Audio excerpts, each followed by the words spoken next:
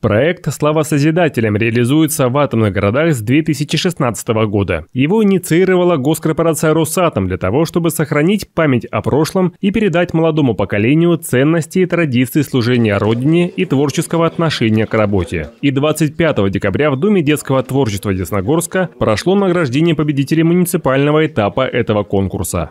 Особенно приятно то, что конкурс «Слава Созидателям», который у нас проходит уже четвертый год, он не потерял интереса среди нашей молодежи и также продолжает пользоваться успехом. Ребята принимают в нем участие, и мы все больше и больше узнаем нового о нашем городе.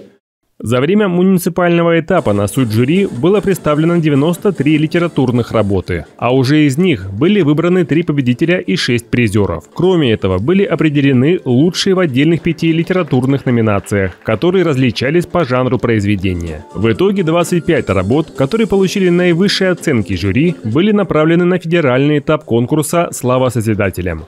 Олег Соловьев, Григорий Шилин, Александр Ерофеев, Десна ТВ.